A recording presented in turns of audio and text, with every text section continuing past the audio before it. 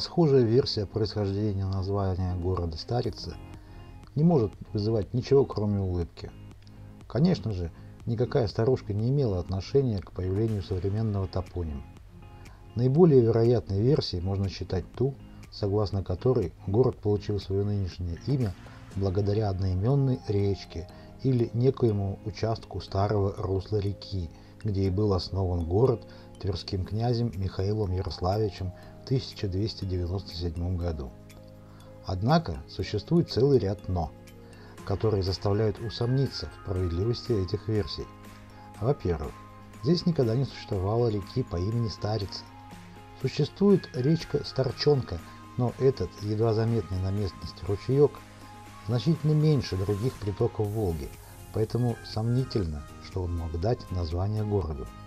Во-вторых, Старицы здесь тоже не существует и, скорее всего, не существовало, судя по рельефным картам местности. Волги в этом месте просто не оставили шанса течь иным путем, кроме существующего. Она буквально зажата между двух берегов. Поэтому искать ключ к разгадке необходимо в старорусском языке. Скорее всего, словом «старица» обозначали не только старые русла рек, но и прочие объекты, считавшиеся старыми. Я полагаю, что в данном случае мы имеем дело всего-навсего с таким понятием, как «старое поселение» или «Старгород». Возможно, это не уникальный случай, просто до наших времен дожил лишь он один. Впрочем, все это не столь важно, поскольку это уже поздняя история города, который возродился из пепла на месте допотопного античного города Любима. Название Любим тоже не уникальное. Город с таким же названием существует сегодня в Ярославской области и также представляет огромный интерес с точки зрения историка. Туда мы еще только планируем отправиться. Ну, а в Старице мы попытались отыскать подтверждение нашей версии о том, что здесь могли сохраниться следы существования допотопного белокаменного города.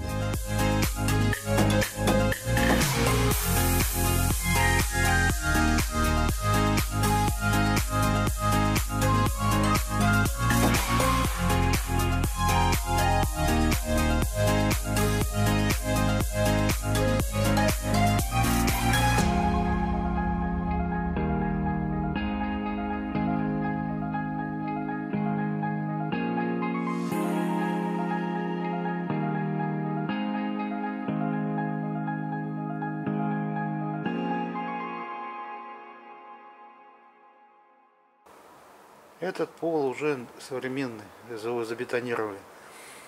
А раньше это был гостиный двор. И видишь арочки, тут вот галерея была, она сквозная. Она была вдоль всего берега Волги, эта галерея шла. Угу. И выглядело это один в один, как вот в Питере А гостиный тут двор. лавки, а с той стороны выход, наверное, был, да? Да, с Там той стороны выход во двор, да. Видишь, они га- галерею заложили кирпичом. Почти Апраксин двор. Гостиный двор в Питере. Ну, Апраксин, Ну, в принципе, Апраксина. Ну, Апраксин по конструкции такой же был. Да. Смотри. И там тоже пиленный этот известняк. Это как э, форт Тотлебен в Керчи.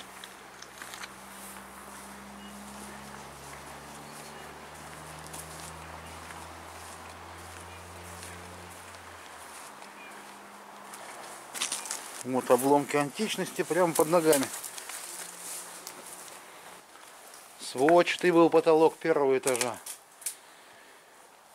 И первый этаж, смотри какой, он насколько под землей. Видишь, свод-то какой был.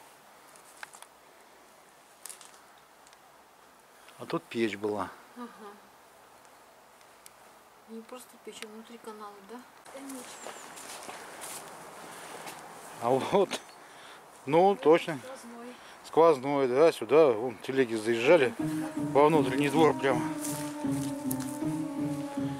Все как в гостином дворе. В Печорах такой же. И тоже внешние стены заложены с арками. Ну, да.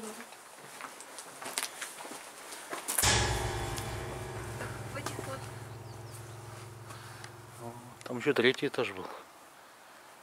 В этих квартирах люди жили еще даже не очень давно. Да. Когда я приезжала, их только еще расселяли. А вот тоже в стене канал. Да. Тут изначально тоже, видимо, было отопление это централизованное. Да, я тебе про это и говорила, еще там.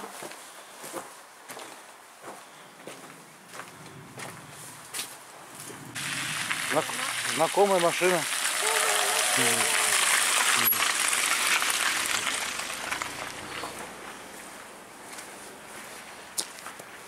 О!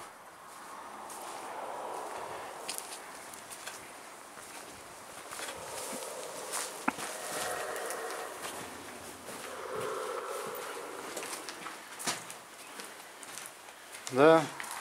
Это лестница. Лестничная. А, Вот тоже. Еще недавно заброшенная квартира. да, люди жили до упора. Смотри какие. Блоки. Если бы только еще понять, что здесь было изначально. А если по, по второму этажу галереи. Ощущение, что они как-то изрядно подзасыпаны. Да, да, да, да. Это видно хорошо, что они реально очень сильно засыпаны. Вот канал, видишь. Да. Вот еще канал. Но это, это не печной канал. Это не тот, да, тут, Тут, да, дер- деревянный брус был. Стыковочный просто. О, какой, бойница. Но насколько оно вниз уходит, неизвестно. Но факт. Первый этаж гораздо глубже был. Все засыпано, потом еще забетонировано. Вот чем тебе не античность? Это вот откуда-то выковырили, и когда из кирпича закладывали эту арку, поставили подоконник античный. Не, Мне кажется, он раньше был, когда еще арка была, еще до Здесь того, не было, здесь заложено. пароход, здесь люди ходили, вот тут А, вот. Ну да. Тут вот с- с- эт- эта аркада, она была вот воздушная насквозь. Сюда зашел, на улице дождь идет, а ты тут под дождем, он насквозь все, два- все лавки Все проходят. лавки зайти. Все лавки можешь зайти. Это очень похоже на этот тот Лебен или Яникале. Нет, тут похоже. Да? На центральной площади стоит, ну, тоже как древний такой рынок, или как сказать, торговая площадь. Ну, там похожие такие конструкции. Там прям них до сих пор продают, торгуют. Да, вот в Печорах тоже такой же, и в, э, как его, Кол- Какие арки. Видишь, тут все, все прям в разрезе дано специально. А Семен еще ростомером у нас работает. Сколько у тебя рост, Семен? А? 180. тоже 180. удобно мерить. Отлично. Отлично. Тут еще обои сохранились, люди жили. Знаешь, люди жили вот в памятнике Да. архитектурном. Ух ты, какая красота. Жили еще и страдали, видимо, что было Конечно, конечно. Они ж, Холодно, печек нету, парового отопления нету. Ну, это вообще сказочно. Пойдем туда, там смотри, что ступени вообще.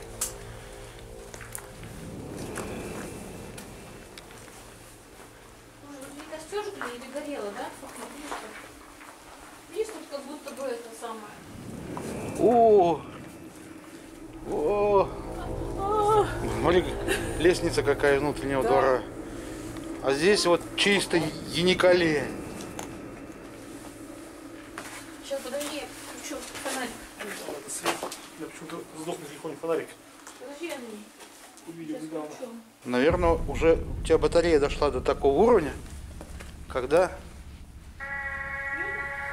когда фонарик просто не включается. Вот это да.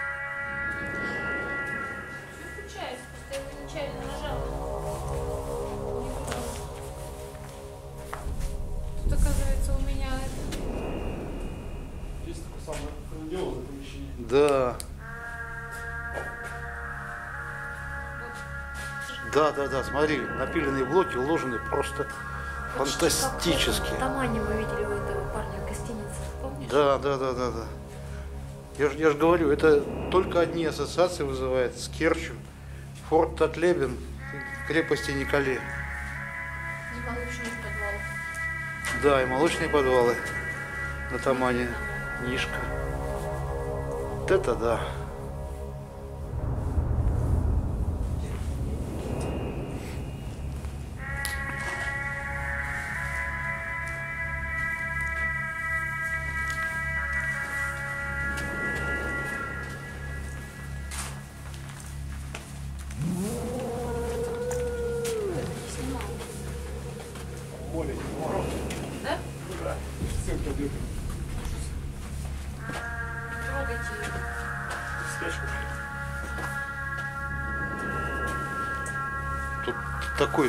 Спуск был, тут и- и неизвестно, лестница или пандус был.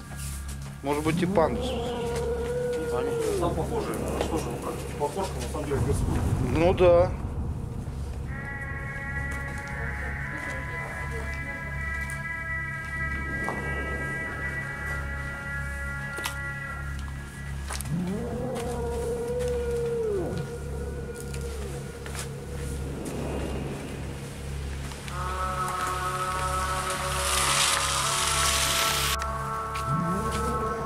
Набережная Волги.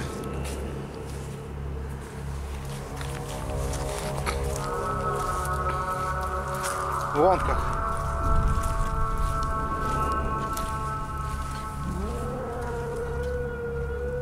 Вон как она. Ну, это уже не гостиные дворы, это уже какие-то действительно сарайки, но с, так- с такого же камня. Только это уже посвежее.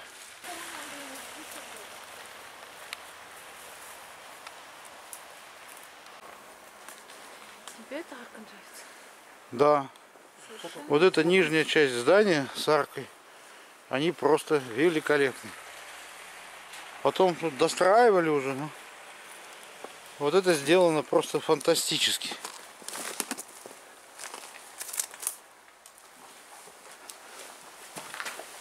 Хорошо, школьникам Сталинского, да? Было закусить. Вообще проблем не было. Мы как дураки по струйкам ходили. Вот под нами как раз этот глубокий погреб.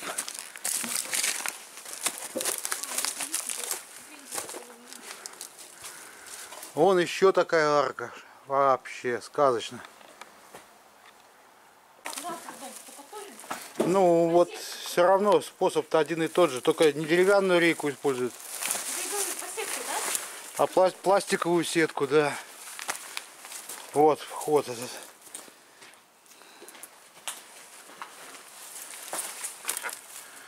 На втором этаже тоже двери полукруглые, арочные, как внизу. Здесь мы на втором этаже все-таки, наверное, сверху пристраивалось, настраивалось второй этаж, да? Ну, не- Много дерева уже используется. Слушай, там Да. вообще вот настоящая комната, да? Квартира. да.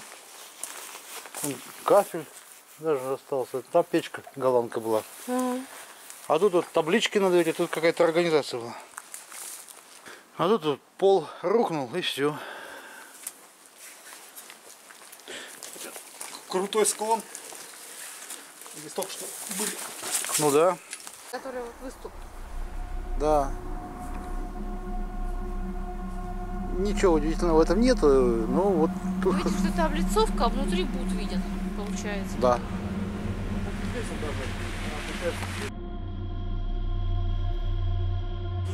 Теперь дома отдыха, что-то понятно. Ага. Ну, Яма, да. да не кто-то здесь сделал, а в советские времена здесь Я гаражи. говорю, в советское время яма для ремонта. Да, да, да, гаражи были.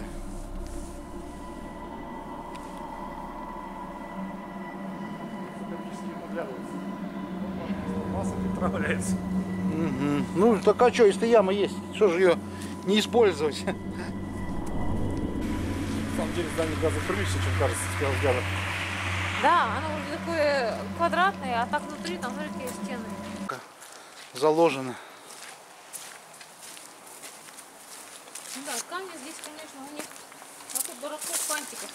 Да, Белого камня проблем нету, можно сарай строить. и тоже был переходы между цехами.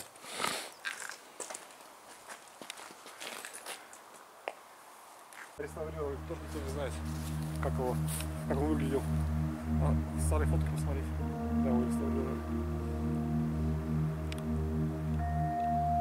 Ну, он э, архитектурно выглядит новее. Может, конечно, его восстановили. Ну, говорят, Виктор Христенко тут его.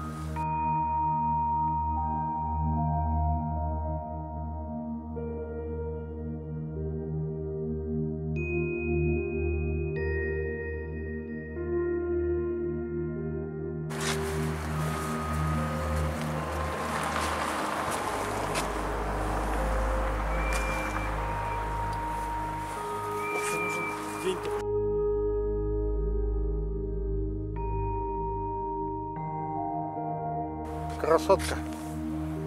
Ворона? Ага. Вороне где-то Бог послал кусочек сыра.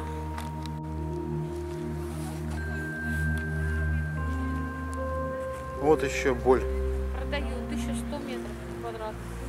Да, Нормально он продает 1100 метров квадратных. 1798 год.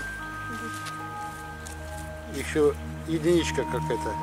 Да, как ай. Да. Ты углядел, слушай. Какой же ты все-таки глазастый. Какая-то странная единичка. Это не единичка далеко вообще.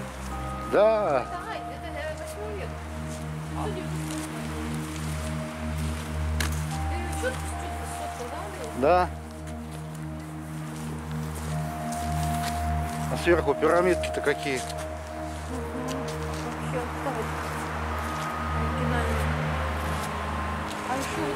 Она одна, да, да, она одна осталась. Слушай, все зайти, благоверцы жили. Ну, ну, ну, вот, смотри, вот, вот известняк обычный. А там говорит, какой-то примеси слюды аж был. Прям вот такой какой-то странной этой породы. Вероятно, в XVIII веке знаменитые сталинские кузнецы использовали древние подземелья для обустройства своих кузнец. Мы не знали еще, что в эти кузницы оказывается попасть очень просто. Об этом рассказал в своем фильме известный исследователь подземелий Даниил Давыдов. У меня рука одна. Там Есть? колодец и вниз спущенная лестница. То есть есть все-таки бесконечные подземелья под крепостным холмом? Луч луча дай. Ну, может быть, кто по представителю? Держишь? Ты. Ну, блин.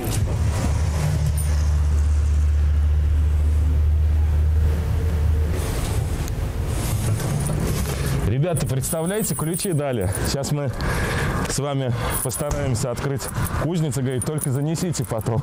А то, знаешь, так, раз и ключи-то и оставили, и потом приезжают в кузницы каждые выходные. На самом деле потрясающе. Зашел в администрацию, настолько приветливые, хорошие люди. Вот причем, я говорю, знаете, можно посмотреть кузницу как? Да, да, говорит, сейчас, сейчас все сделаем, приносит ключи, говорит, только, говорит, не забудьте отдать, пожалуйста, идите, ну, сами там разберетесь.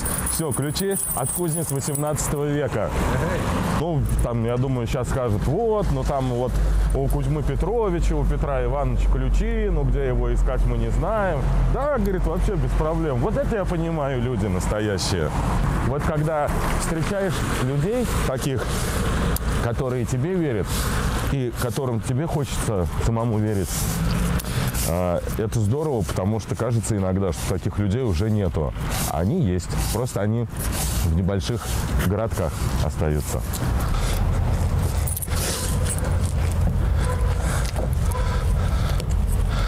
Так, так.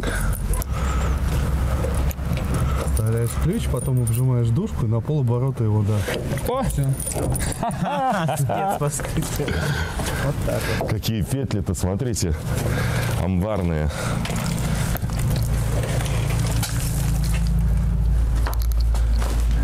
Ага. Смотрите, свод потрясающий совершенно. Вентиляционная труба идет, но мы ее видели сверху. И уже более поздние э, кирпичные перегородки. Так. А это же печь. Смотри, это же кузнечная печь.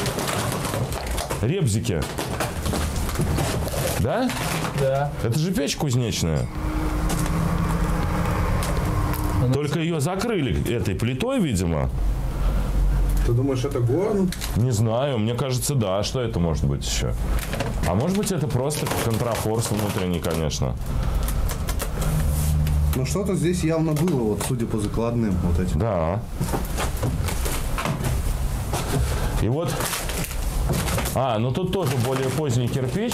Что тут было до этого, мы не знаем. Ну, вообще, в принципе, небольшое такое помещение, э, зонированное от соседних кузнечных помещений. А где ты говорил колодец? Но мне показалось, что вот эта лестница спущенная в колодец. А, понятно. Понятно. Так, нету лестницы, спущенной в колодец. Ну что, пройдем по соседним. 18 век. Вот он, мрамор старицкий.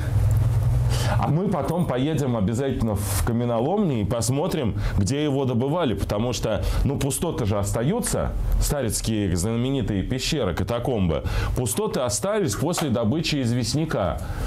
Вот надо осмотреть и наземную, и подземную историю Смотрите, города. Пробежный вентилятор, воздуходувка, то есть точно здесь был а, горн, потому что для вентиляции этого помещения такого объема это машина избыточная. Ну, это все-таки советские уже, видишь, Конечно, он советские. укреплен на силикатный кирпич. Но просто так не стали бы ставить сюда Весы, смотрите какие. Ну, Данил, это уже не 18 век. Это уже наш. 90-й год. Да. Свод. Вот поражает, конечно, смотрите, как сделан свод. А пос- Последующие швеллера укрепили купол. Но вообще на известковом растворе известняковые блоки, которые вот уже 300 лет здесь находятся. Ну или чуть меньше.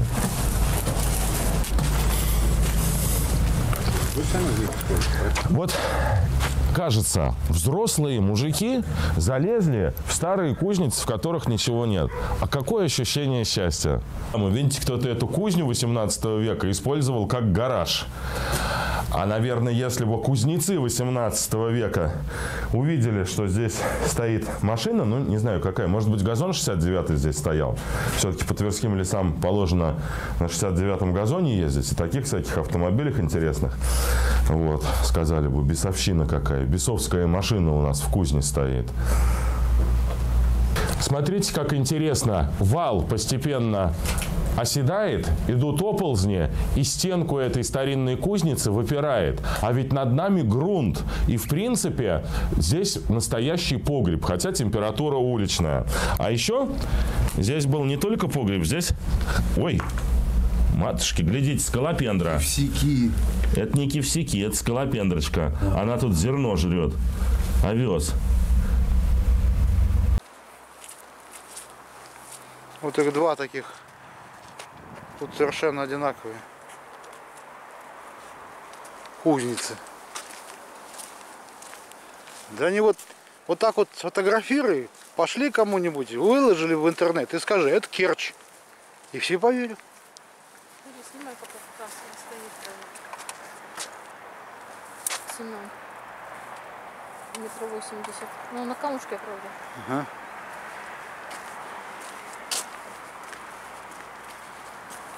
Видать, что? Фонарик слабоват, так видать. Чуть-чуть чем не посветить Там было. гаражи, Там наверное. большое помещение, как типа мы заходили вот туда в подвал. Так- такого же плана. Ага. То есть такая была. Слух такой шел. Слух такой шел, да.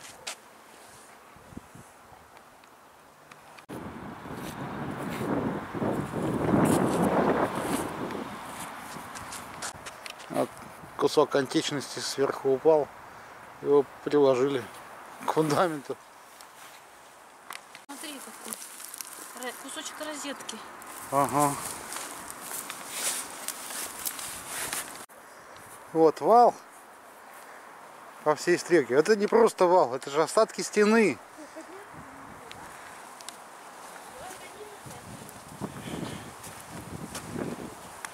Какие ниши большие здесь.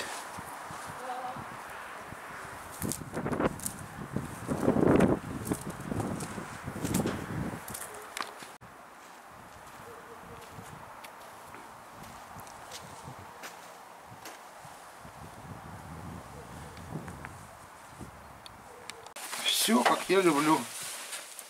Давай, наверное, поднимись, Семен.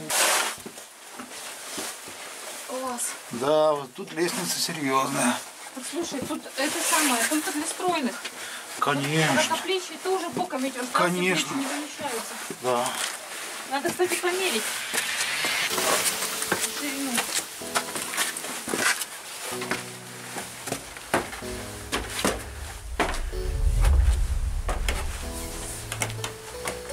Какой купол здесь тоже.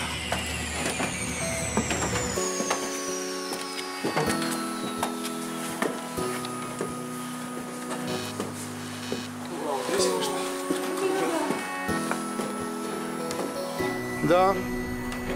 Вот это да.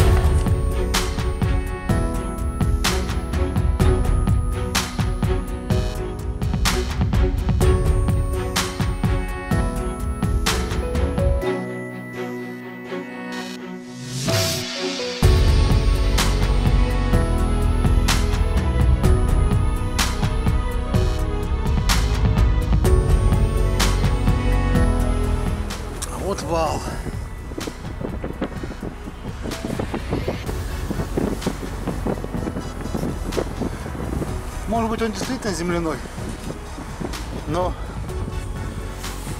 судя по количеству известняка здесь, он может быть не просто земляным валом. Вон он куда идет. А по идее он должен быть замкнутым. Че он с одной стороны только идет вал? Он еще. Там какая-то лощина получается. А тут, слушай, а тут Он, он- он там река течет. Очень похоже на то, что наши предположения подтверждаются.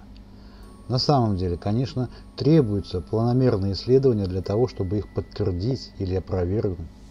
Но визуально даже с колокольни просматриваются телли допотопных строений. Телли – это следы того, что погребено под слоями осадочных пород, но скорее всего не является природным образованием. Борисоглебский собор стоит, скорее всего, на закопанных руинах крепости Звезды или Кремля. И это подтверждает наши подозрения о том, что центр допотопного Любима был не на правом пологом берегу Волги, а, как и положено порядочному городу с Кремлем, на господствующей высоте, на левобережье.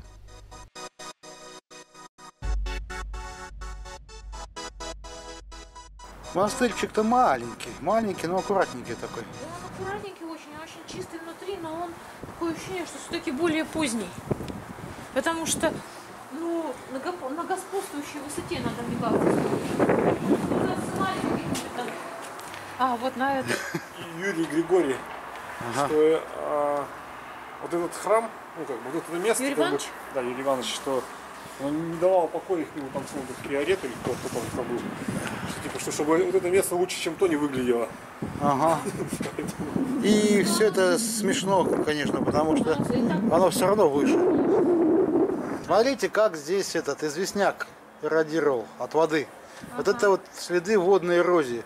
Вот как быстро это все разлагается. Видишь, как сахар тает. Ну да. И вот каверны А такие. Как быстро это сколько?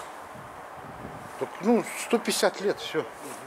Вот. Так это он под крышей, где как положено. То есть заходит ну дождь только, когда какой-то ветер дует его. Да, да, да, да, да. Вот оно тут отсырело, ветрами дует и вы- выдувает все. Кальций вымывается.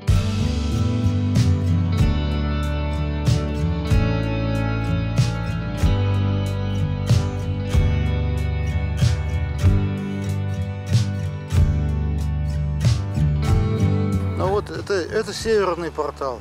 А вот тут вот алтарная часть. Но здесь, видишь, конструктивно она почти не выделена. Чуть-чуть вот только ступенька и все. в Исаакиевском соборе тоже можно зайти только с запада.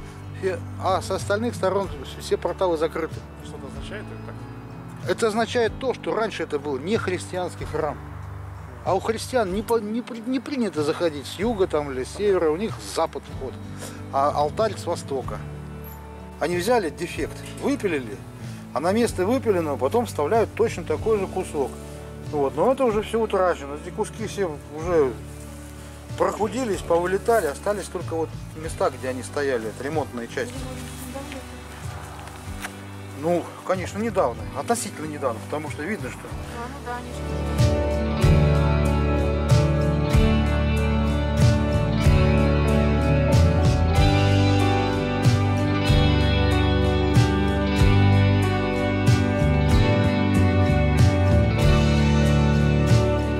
Вот и на Исаке колонны точно такие же.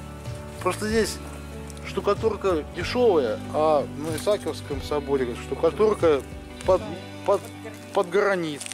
А так они такие же кирпичные наверняка. Вот стрелка.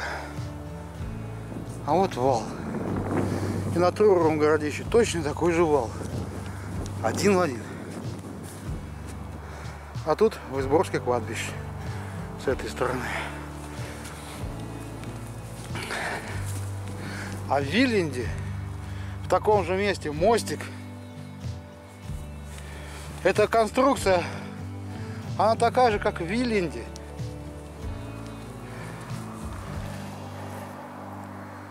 Вон тот вал.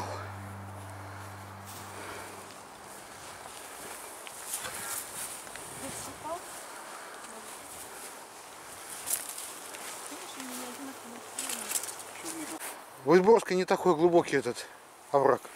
И он ближе заканчивается как бы. Ну, потому что тут речка все-таки длинная. А там это даже было не речка, а это улей, да. Вот, а вот стрелка. Идите, идите. Не спрашивайте, куда я вас завел. Я сам заблудился.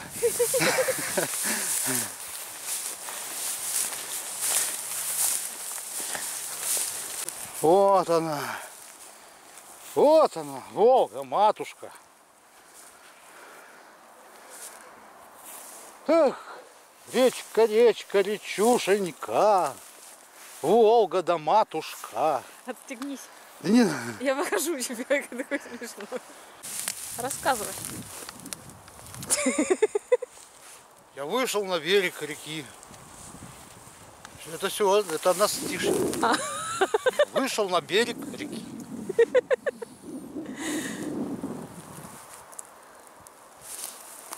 Видишь, вертолетная площадка. Ну да, а рядом стоит частный домик. Все бы ничего, но кустарники посажены слишком ровно. Ага.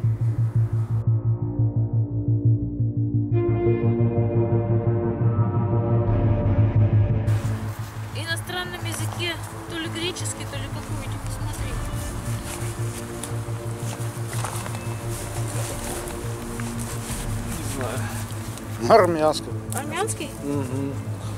Какая связь? Не знаю.